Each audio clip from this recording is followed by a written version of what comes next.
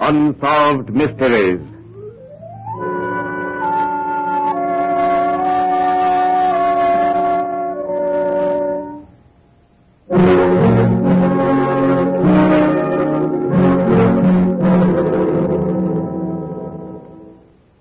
Tonight's Unsolved Mystery deals with the saving of life rather than the loss of it. It is one of these true happenings which account for the fact that sailors, no matter what nationality, are vastly more superstitious than landlubbers.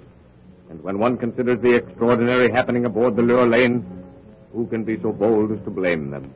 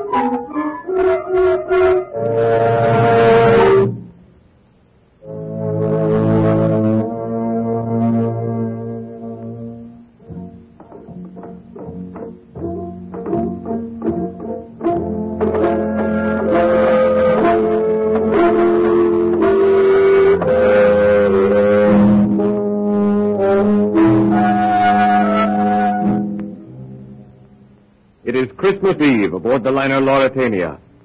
Heavy seas and raging gales have buffeted the ocean greyhound since she left Portsmouth. And now, eight hours late, she is still 17 hours sail out of New York. Driving sleet whirls along the decks. The dismal blasts of the siren cut through the fog. But below, Captain Morris, in order to offset the disappointment of the passengers at not landing in time for Christmas Eve dinner, has ordered the salon decorated and an appropriate dinner served. Dinner is over, and the captain, genial, a trifle portly, but every inch the captain, is entertaining a select group, including the ship's senior officers, at the much envied captain's table. Oh, I think you've done splendidly, Captain Morris. Why, the salon looks as though you've been preparing for Christmas festivities for months. Uh, thank you, Miss Van Vanborough. But most of the credit belongs to my very able first officer. He is the genius who discovered that palm leaves and a pair of scissors can be used to turn out a very presentable synthetic holly. And the holly berries? Mac, the chief engineer, thought of that. Red beads from a shipment out of Yokohama. well, I, for one, am not disappointed at not landing. I'm enjoying myself immensely. yes, I noticed that you are. And I should think my first officer is too. Oh, now you're teasing. Tell me, though, Captain, in spite of all the festivities, aren't you nervous away from the bridge? No, oh, not a bit of it. I have a very capable officer on watch, and with wireless and everything. But the Titanic had wireless, too, Captain. Quite true. But not a wireless compass, not radio beacon. And not Captain Morris's guardian in the unseen world. No, Mac. Well, it's Christmas Eve. It's a true story, and the captain tells us very real indeed. Please tell us, Captain Morris. Well, I want you to understand something, all of you. Mac here was chief on the Lurline when this happened. Mr. Johnson, the first officer, was second officer of the Lurline, and Sam Benson, our present chief wireless operator, was also operator on the same ship. It was a night pretty much like this. Howling gale, mountainous seas. Johnson's hands were numbed from hanging onto the siren cord. The crew was well nigh exhausted from standing double watches, and Sam Benson and his assistant Tommy were in the stuffy little wireless cabin.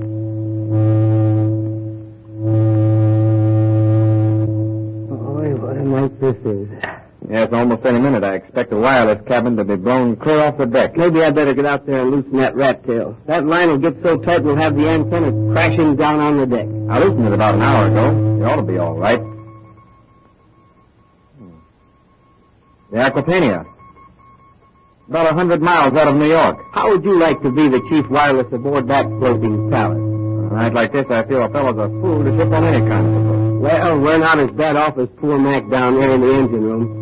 Every time they roll, the water all but touches the fire bars. And I suppose the siren's using all his steam.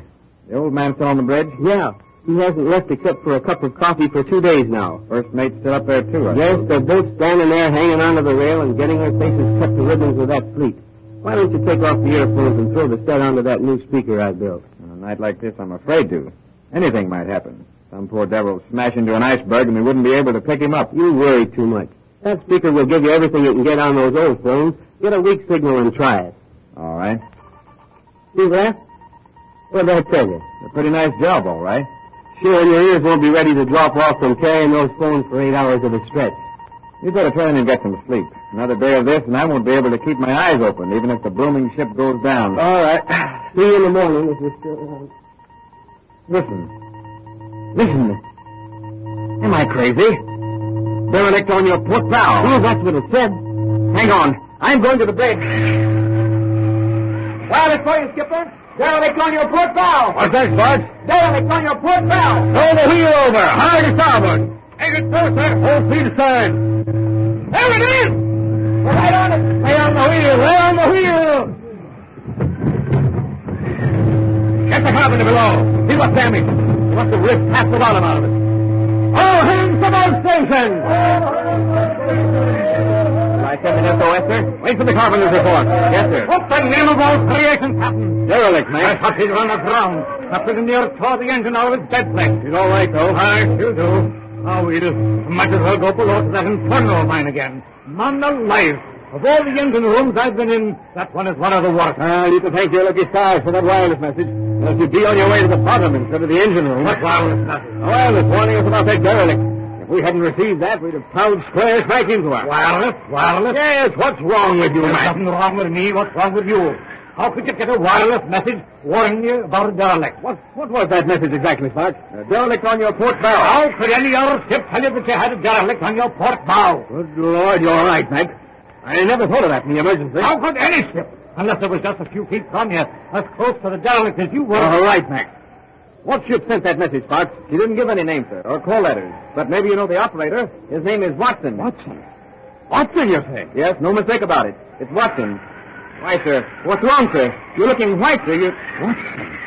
Watson was my operator on the Acasta. He was washed overboard and drowned a year ago tonight.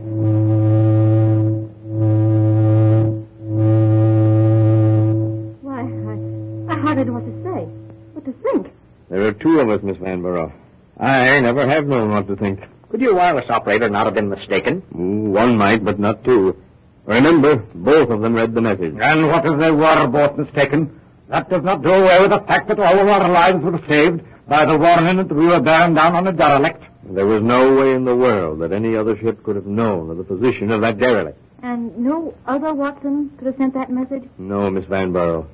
No other Watson. Have you no explanation, Captain? Yes, I have an explanation. But whether or not it will satisfy you is another question. Well, any sort of explanation of an affair like that would be welcome. After you've heard from your sponsor, you will hear the captain's explanation of the wireless mystery.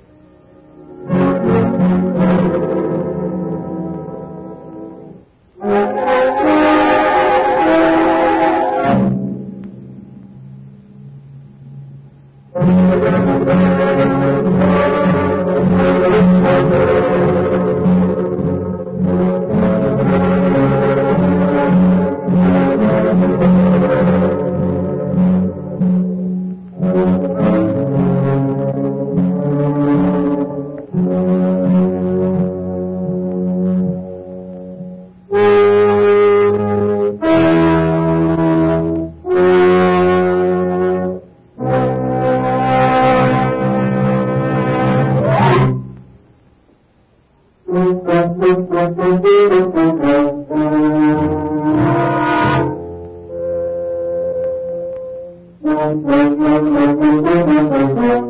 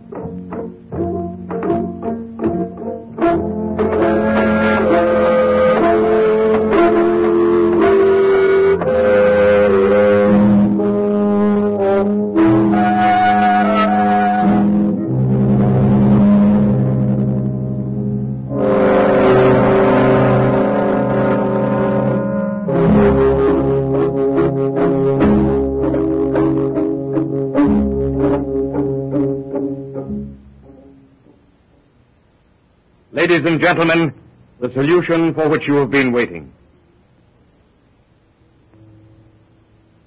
In attempting an explanation of a thing like this, you must make certain concessions. Such as, Captain? Well, that Watson, for instance, snatched away from life without warning, without any preparation for death, would, in his spirit form, find himself in a realm where he would find it hard to adjust himself. In other words, Watson would still be hankering after the friends and associates he had left behind him on Earth. Right, Miss Vanborough. Since we know nothing of the beyond, we must make certain surmises. And if we accept the belief that consciousness lives on for eternity, then Watson would be entirely aware of the life he had so abruptly left. Watson would be in a realm where time meant nothing. Yesterday, today, and tomorrow would all be one. Yes.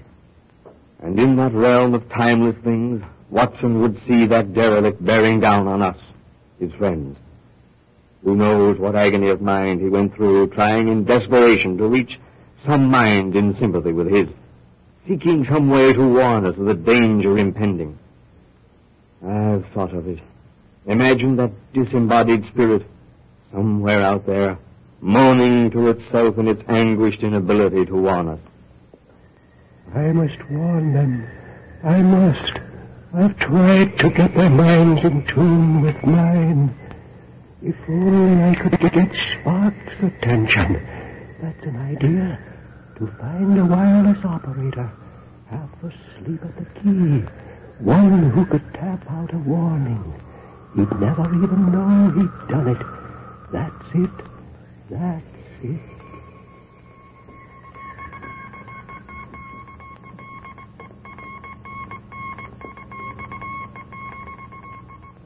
so, somewhere aboard a ship, a sleepy wireless operator under the influence of Watson taps out the warning message that saved the Lurline and her crew, leaving the seas, that realm of mysteries, another unsolved mystery.